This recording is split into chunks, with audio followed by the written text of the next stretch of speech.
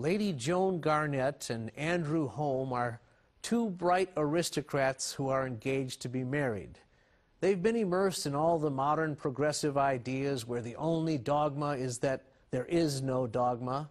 And in their latest adventure, Lady Joan is seeking to gain membership in an organization that prides itself on tolerance of everything.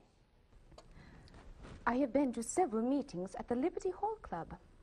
They say I may be elected to the club, but they doubt if I'm advanced enough. Advanced? In what direction? Oh, in all directions. Why, that's just the point. You can say anything at the Liberty Hall Club. You can defend any view, anarchist, atheist, or whatever's supposed to be worse. They include all, yes, all opinions in the world. And then they talk. it must be rather stimulating for you. Oh, it's frightfully exciting. Do come with me there this evening, won't you? You'll be sure to secure my election, and you'll probably be elected yourself. and why would they elect me?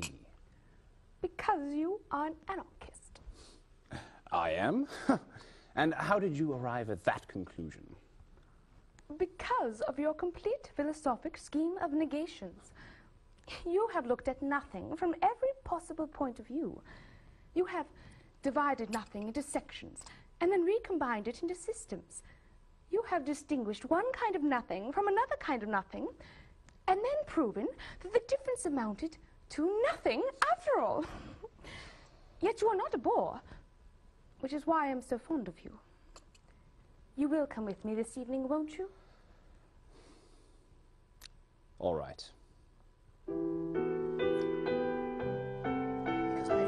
Sixth and seventh of all learning in literature is bogus. Now, you can't say that outside the... You can only say that inside the club. Oh, Mrs. Good. Happy to see you again here, my darling. We are proud of this acquisition. Every kind of opinion, you see, as I was saying, every kind of opinion can be expressed in the club. Well, suppose I express the opinion that the police should raid this place. But you don't express that opinion.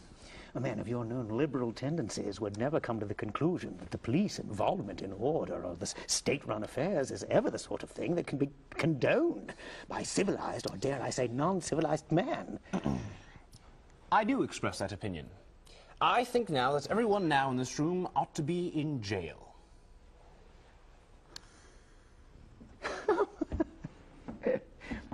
Why? because we're not respectable. One must be respectable. Res respectability? Respectability? Why, it's respectability that's created all the persecutions and superstitions and abominations, all the, all the loss of individuality, of progress, of self-ownership and self-respect. Uh, self-respect, true. Uh, and how can one respect anything that is not respectable?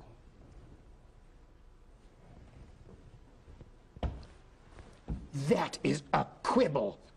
Uh, a pun. Don't all these things come to be because love is not free? Well, of course it isn't. Uh, love means that a man, in one respect at least, is not free. What? Well, if a man is truly free, he should be free to bind himself. Uh, to bind himself to a woman. But would there not be more joy, more old Greek gaiety if marriage were abolished? Why? The, the Greeks believed in marriage. Oh, do, do, you really mean to say, do you dare to say that it is just or, or right that a woman should be tied down to a man, that it's, that it's tolerable, that...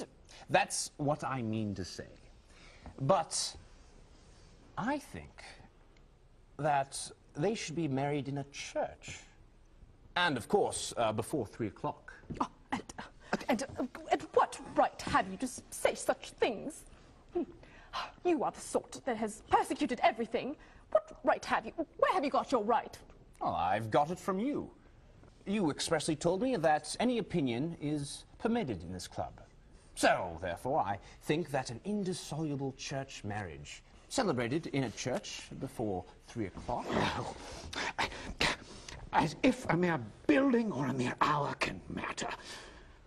no? Why not? It's all environment.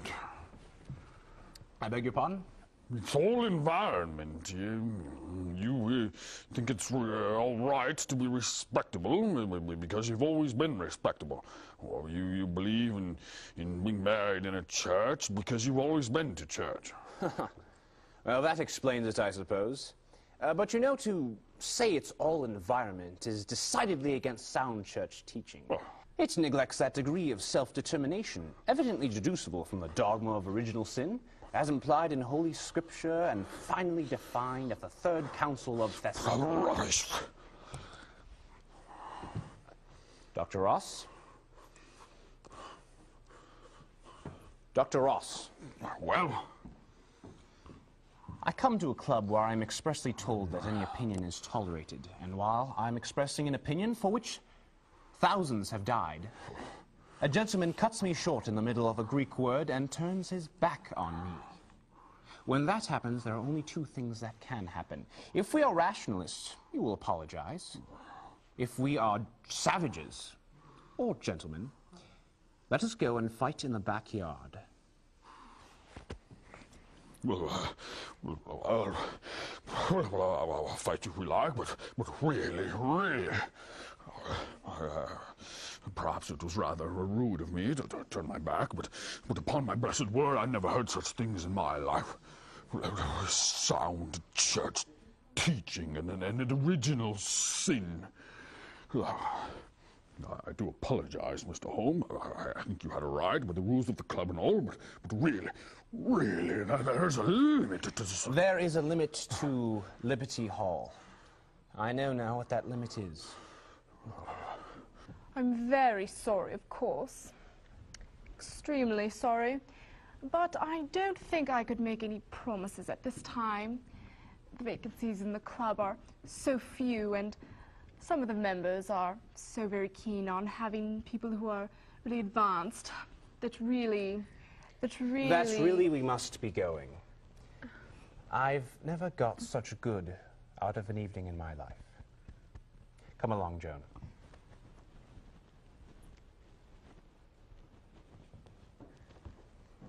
You are an extraordinary person, Andrew. Are you mad? Not now. But those people were all arguing for the things you've always been arguing for. Permit me a masculine distinction. They were arguing badly. Well, you were pretty wild. you don't really believe in all of those things respectability and marriage and all the rest you were defending. You don't believe that a marriage must take place in a church before three. or oh, you don't believe in a church at all. and as for a council of the church, You have such a pretty laugh, Joan. and what do you mean? I don't believe I can say what I mean. I don't believe you can hear it. But I have found the limit of anarchy. Anarchists will endure everything except one thing sense. They will tolerate a hundred heresies. They will not tolerate orthodoxy. When you see a poor chap standing at the corner, what do you see? The man on the street? Yes, we call him that because he's ordinary. What does he want? He, he wants a, a house, a wife, and a baby. All the humdrum things God dreamed of when he created the world. That's why we put that man to sweep our streets and black our boots, because he wants what God wanted long ago, and not what we shall want the Wednesday after next. Think of him and then think of all those people at Liberty Hall Club. Those foxes have holes, and those vultures of the air have nests. But man has nowhere to lay his head. I don't think I understand it. Do you understand this?